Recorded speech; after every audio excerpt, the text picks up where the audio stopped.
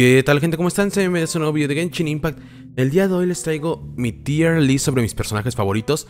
Solamente son mis personajes favoritos, no cuáles son los personajes más fuertes, ni las mejores rotaciones, ni qué personajes encajan en ciertos equipos, nada de esto. Solamente mis personajes favoritos, cuáles son los personajes que más me gustan a mí, ya sea por su diseño, su personalidad, por su jugabilidad o simplemente porque me gustan.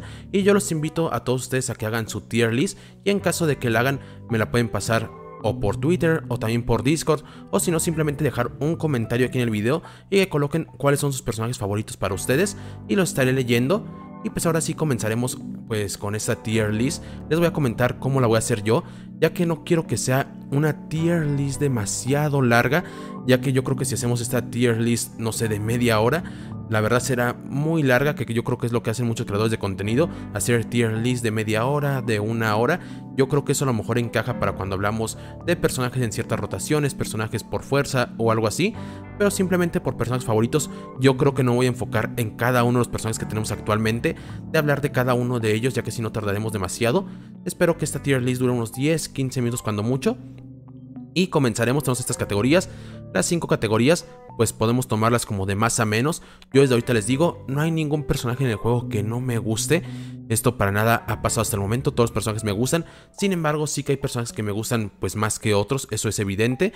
Y también hay personajes que a lo mejor me gustan, pero que no he jugado lo suficiente con ellos porque son personajes que no tengo o que simplemente no he probado porque no tengo los recursos suficientes. Pero aún así, no todo se basa en jugabilidad, también se basa mucho en su diseño, en su lore, en lo que hemos visto en la historia, en su personalidad. Y ahora sí comenzamos con esta tier list, ya hablando sobre cómo voy a categorizar yo a los personajes. Y comenzaríamos con el viajero. Aquí tomaré en cuenta que este viajero es el viajero pues Aether y aparte de ello es de elemento geo. La verdad es que Aether su diseño no me parece para nada malo, sin embargo el elemento sí que no me gusta ya que la verdad su jugabilidad no me gusta para nada. Yo lo llevé un tiempo, yo creo que el primer mes o los primeros dos meses. Bueno, a no, llevé a Lumin, pero el elemento Geo la verdad no me termina de convencer para nada, no se me hace divertido. En cuanto al viajero, entonces lo colocaré en esa categoría de C, que sería como un personaje que no me gusta demasiado. Después seguimos con Albedo. Albedo es un personaje que lamentablemente no tengo, sin embargo, sí que me gusta su diseño, aparte de su diseño, sí que lo he probado en algunas pruebas que ha habido o eventos y también me gusta. Aparte de ello, su lore, su personalidad, igual me gusta, lo que vimos en Espina Dragón. Entonces para mí se va a ir a esta categoría de aquí arriba. Seguimos con Amber. Amber, aunque a lo mejor en cuanto a fuerza no entraría muy arriba, su diseño y su personalidad sí que me gustan bastante. Igual yo creo que estuve jugando con ella como un mes. Entonces la pondré aquí arriba. Yo creo que la pondré justamente aquí por debajo de Albedo. Ya que a pesar de que no tengo Albedo, sí que me gusta más su historia, lo que ha estado pasando con él. Seguimos con Ayaka. Ayaka es un personaje que aparte de que me gusta, ya sea su personalidad, su diseño, su jugabilidad, todo esto, es un personaje con el que tengo pues cierto cariño, debido a que para los que no saben, mi nickname justamente en Genshin es Ayaka, simplemente fue una coincidencia, yo ya lo había puesto y de repente me entero que había un personaje que se había probado en las betas que se llamaba Ayaka, entonces tengo cierto cariño con ella aparte de todo lo que les he comentado, así que la pondré en la categoría de A, que sería un personaje que me gusta mucho, sin embargo no entra a esta categoría de categoría S, y seguimos con otro personaje y en esta ocasión es Bárbara. Bárbara igual la traje yo creo que unos 2, 3 meses en mis equipos. Traía normalmente a Keqing, a Fischl, a Shangling y a Bárbara. Y Bárbara su diseño me gusta. Me gusta que formó parte de la historia justamente en las islas. Que fue creo que la 1.6 si no estoy mal. Y les digo me gusta su jugabilidad, me gusta su diseño. A lo mejor no es muy fuerte pero sí que me gusta todo eso. Así que la pondré igual en categoría B. Pero para mí un poquito más arriba. Voy a cambiar aquí al Bedo. Seguimos con Beidou. Beidou igual es un personaje que me gusta mucho su diseño, su personalidad, lo que ha formado en la historia. Es un personaje que lamentablemente no he probado aunque lo tengo ya que no tengo recursos. Pero para mí Beidou igual es un personaje que me encanta. Entonces la pondré justamente en esta posición. Para mí podría ir arriba de Bárbara, pero les digo, no he probado su jugabilidad. Yo creo que en cuanto la pruebe, se va a ir arriba de Bárbara, pero la pondré de momento en esta posición. Bennett, Bennett es un personaje que su diseño me parece muy simple. De hecho, yo creo que en cuanto a diseños probablemente sea el que menos me gusta de Genshin Impact o de los que menos me gustan. Pero sí que se me hace un personaje muy divertido utilizar. E igual en cuanto a lore, no tiene lore casi. Pero su personalidad igual me gusta. Entonces lo pondré aquí por encima de Amber. Chongyun, un personaje muy olvidado. Es el típico meme Chongyun, ya que mi joyo se olvida de él. Sin embargo, hay otro personaje del que más se olvidan, y ahorita lo estoy comentando. Pero igual para mí Chongyun no me termina de convencer su diseño, su personalidad, casi no sabemos nada de él. Entonces para mí se va a ir justamente aquí a esta posición. Igual su jugabilidad, aunque no es que la odie, tampoco me termina de gustar. Diluc es un personaje que al principio me gustaba mucho, pero conforme fue pasando el tiempo es un personaje que me empezó a dejar de gustar. Entonces para mí Diluc en cuanto a su lore y su diseño, la verdad sí que se me hacen atractivos, pero en cuanto a su jugabilidad, para nada. Entonces yo lo pondría en esta categoría de aquí. Ya que, aunque Bened a lo mejor su jugabilidad sí que me gusta, pues de Diluc sí que me gusta más su lore, su personalidad y lo que ha hecho en la historia. Después Diona, Diona es un personaje que se me hace muy divertido jugar con ella debido a todo lo que tiene, que nos da escudos, el área de curación para composiciones de permafrost, aparte de la maestría elemental, son muchas cosas que da Diona, entonces debido a todo esto se me hace un personaje muy completo y muy divertido, entonces Diona la pondré por aquí en esta posición. Seguimos con Fischl, Fischl como les comentaba fue uno de los primeros personajes que utilicé y que utilicé durante bastante tiempo. Sin embargo, su jugabilidad no me gusta la verdad. Esto de lanzar simplemente la ulti y dejar al cuervo a Oz y ya. E igual su ulti y habilidad elemental pues son muy parecidas. Entonces la verdad no me gusta eso de ella, su jugabilidad. Y en cuanto a su diseño y lore pues sí que me gustan pero tampoco me resultan muy atractivos. Entonces la pondré yo creo que en esta posición de aquí. Y seguimos con Ganyu. Ganyu es un personaje que me encanta.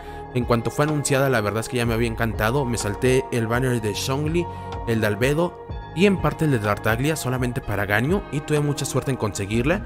Ganyu es un personaje que me encanta y para mí se va a ir a esta posición, justamente aquí con Ayaka. Sigue Jutao, Jutao es igual un personaje que me gusta demasiado.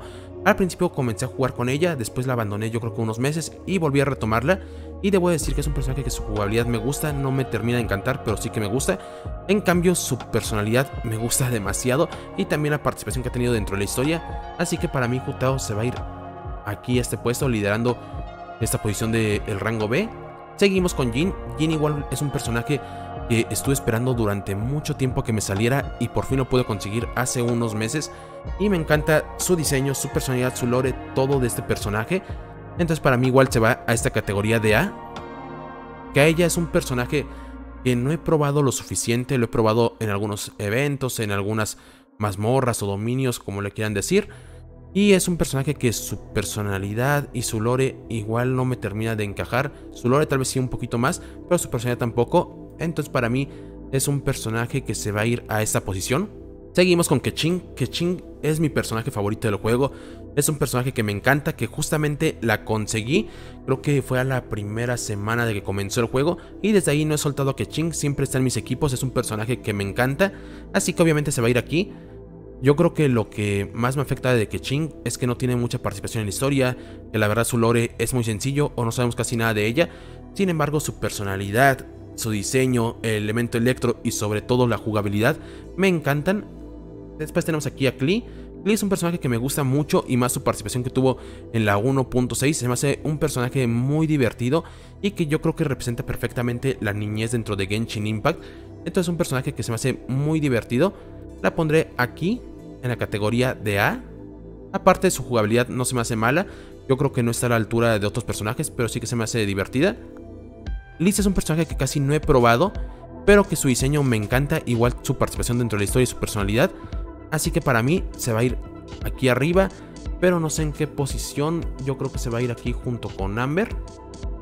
Después seguimos con Lumin, igual tomaré aquí en cuenta que es Lumin y que también es de elemento Anemo. El elemento Anemo me gusta un poco más que el elemento Geo, en cuanto al viajero hablamos, pero tampoco me termina de convencer. Pero sí, el diseño de Lumin me gusta bastante, me gusta más que el de Aether. Entonces para mí Lumin se va a ir en esta posición, para mí aquí arriba. Seguimos con Mona. Mona es un personaje que me gusta bastante. Eso sí, su jugabilidad para mí decayó un poco. Actualmente ya no me gusta mucho su jugabilidad. Pero su diseño sí que me gusta bastante. E igual su participación que ha tenido dentro de la historia. Y se me hace un personaje divertido. Entonces para mí Mona se va a ir aquí arriba. Yo creo que en esta posición exactamente. Tenemos a Ningguang y es el mismo caso que Beidou, es un personaje que me gusta mucho en cuanto a diseño, su participación con la cámara de Jade, sin embargo no la he probado lo suficiente, casi no la he probado más que un par de ocasiones, entonces al no saber su jugabilidad, pero sí saber lo de su diseño y todo lo demás, para mí se va aquí a esta posición. Tenemos a Noel, Noel es un personaje que la verdad me gusta, no solamente su diseño, sino su jugabilidad. No me termina de encantar, pero sí que me gusta. Entonces Noel para mí se va aquí en esta posición. Kiki, para quienes no lo sepan, es el personaje que en cuanto a lore más me gusta. No se me hace un lore muy complicado, es un lore sencillo, sin embargo es un lore que me gusta mucho, se me hace muy bonito, un pasado triste y la verdad me gusta el personaje en cuanto a esto. Aquí les recuerdo, no es un personaje que hablemos en cuanto a fuerza, simplemente en cuanto a qué tanto me gusta y entonces Kiki la verdad para mí se va hasta acá arriba a pesar de que no la tengo. Justamente aquí con Klee. Después tenemos a Razor. Razor es un personaje que su personalidad la verdad me gusta, se me hace un personaje pues divertido, cómo se comporta y todo esto, pero su jugabilidad igual no me termina de encantar, casi no me gustan los personajes de Claymore en cuanto a jugabilidad, aparte de ello siento que tenemos pues a otros personajes de Electro que me gustan más, entonces para mí Razor se va a ir justamente en esta posición. Y seguimos con Sakarosa. Sakarosa es un personaje que yo mucho tiempo no quería utilizar, que se me hacía un personaje aburrido, que no me gustaba su diseño y todo esto. Yo creo que antes lo hubiese colocado aquí en esta categoría de C. Sin embargo, es un personaje que a día de hoy me encanta. En cuanto a la subida de nivel la puede probar. Y es un personaje que se me hace muy divertido. O bueno, muy divertida. Me gusta más que Venti, la verdad, a día de hoy. Se me hace muy divertida de jugar. Su diseño, aunque no me termina de encantar, yo creo que sí lo aprecio un poco más hoy en día. Yo les digo, se me hace muy divertida. Entonces por eso se va a ir aquí justamente. Tenemos a Tartaglia. Tartaglia a día de hoy es un personaje que casi no me gusta. Ya no me gusta mucho su personalidad, no me gusta tampoco mucho su lore, su jugabilidad. Es un personaje que para mí ha decaído bastante. Entonces Tartaglia, si bien tampoco es que pues no me guste para nada, tampoco me termina de encantar. Entonces para mí se va a ir aquí, justamente en esa posición. Les recuerdo, no es un top de fuerza, simplemente de mis personajes favoritos. Venti igual para mí ha decaído. Antes era un personaje que utilizaba demasiado, pero hoy en día no lo utilizo tanto. Su jugabilidad me parece un poco aburrida, la verdad. Ya se me hace algo repetitivo. Entonces para mí se va a ir aquí en esta posición. Yo creo que aquí. Y no se deja, pero ahí está. ahí tenemos a Venti. Y ahora con Shangling. Shangling igual la traía al comienzo del juego. Es un personaje que se me hace muy roto en cuanto a fuerza. Igual su diseño no me llama mucho la atención, pero sí que me gusta. Pero en cuanto a jugabilidad, solamente por su ulti, ya que si no, no se me hace un personaje muy divertido. Entonces la pondré aquí en esta posición. Seguimos con Xiao. Xiao es un personaje que en cuanto a personalidad no me gusta, pero en cuanto a lore sí que me gusta. Igual su diseño se me hace de los mejores que hay actualmente en Genshin Impact y es un personaje divertido de utilizar. Entonces para mí Xiao se va a ir justamente en esta posición. Tenemos a Shinkyu. Shinkyu en el caso contrario de Xiao, su diseño no me gusta para nada, pero su jugabilidad sí que me gusta.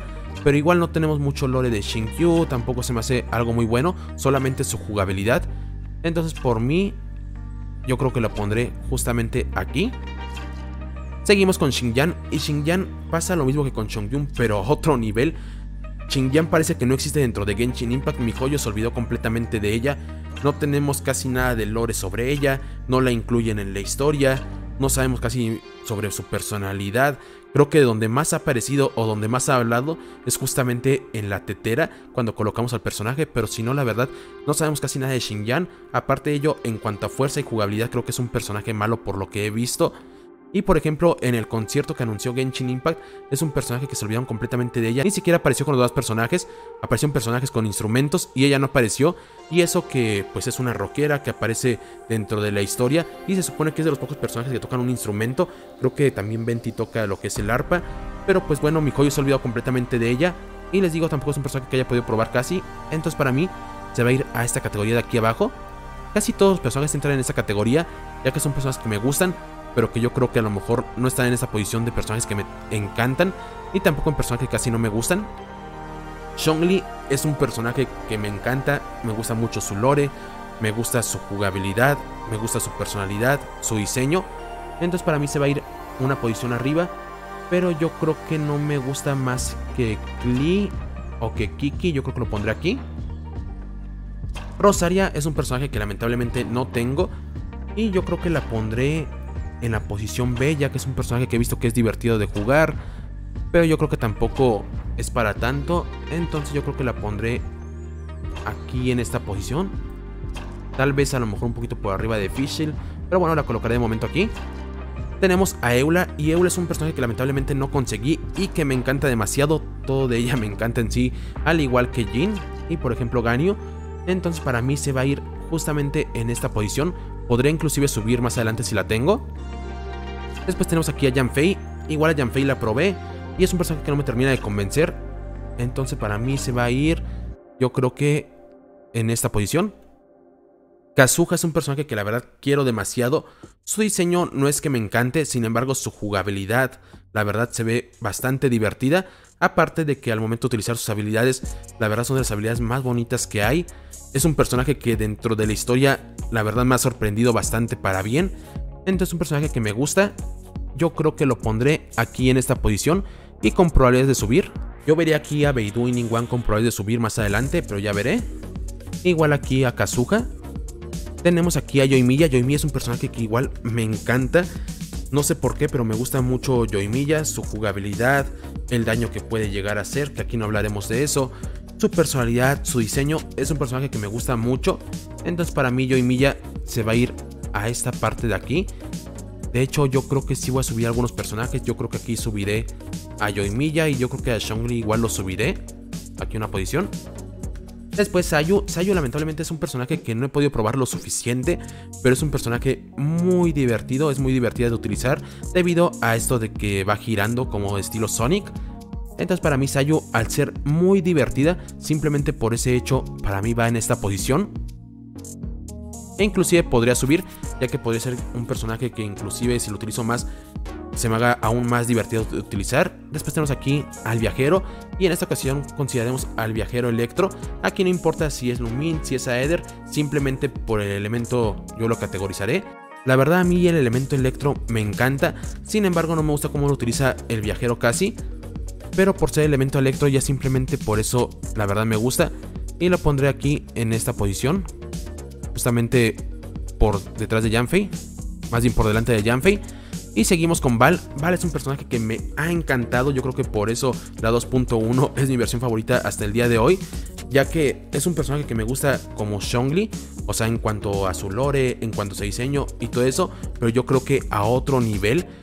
Yo la verdad de momento la pondría hasta acá arriba, ya que la verdad es un personaje que me encanta y que sí que he probado y no le he sacado de, mis equipos desde que comencé con esta versión de la 2.1. Inclusive luego, luego la subí a nivel para poder tenerla en mis equipos. Y yo creo que a simplemente la quiero un poquito más por el hecho de que llevo jugando con ella desde el comienzo. Pero para mí está en el mismo nivel que Ching y Val. Me encantan dos personajes. Sara igual es un personaje que me gusta mucho. Y la pondré de momento en esta posición. Es un personaje que me ha sorprendido bastante. Pasó de ser un personaje que casi no me interesaba a uno de mis personajes favoritos. Después, personajes que aún no han salido. Tenemos aquí a Kokomi. Kokomi es un personaje que al principio me encantó su diseño, pero conforme ha pasado el tiempo es un diseño que si bien me gusta ya no me parece tan fenomenal, tan espectacular. Aparte de ello, su participación dentro de la historia no me ha convencido, entonces para mí Kokomi decayó bastante del punto en el que la tenía. Para mí Kokomi se va a ir de momento aquí en esta posición. A Aloy es un personaje que sí que he probado, pero no demasiado, pero no me parece un personaje divertido. Aparte de ello, no me gusta para nada su diseño, como que siento que no encaja con Genshin, se siente un personaje diferente. Y para mí, Aloy se va a ir aquí en esta posición. Y después tenemos a Toma. Toma igual es un personaje que me sorprendió bastante en la 2.0. Yo me esperaba algo diferente y la verdad me acabó sorprendiendo para bien. Para mí Toma se va a ir en esta posición de acá arriba. E inclusive tiene probabilidad de subir más adelante. Lamentablemente Toma fue un personaje que fue un poco olvidado por ciertas cosas que pasan en la historia. En esta 2.1, pero igual es un personaje que me gusta mucho. Y pues en sí esa era la lista que les quería compartir. Es una tier list, les recuerdo, simplemente basada en mis gustos y me gustaría que ustedes me compartan pues su opinión, su tier list justamente aquí en los comentarios, lo estaré leyendo. Y eso sería todo por el video y si les ha gustado no duden en suscribirse dejar su like. Se despide de ustedes, su amigo Dragrin.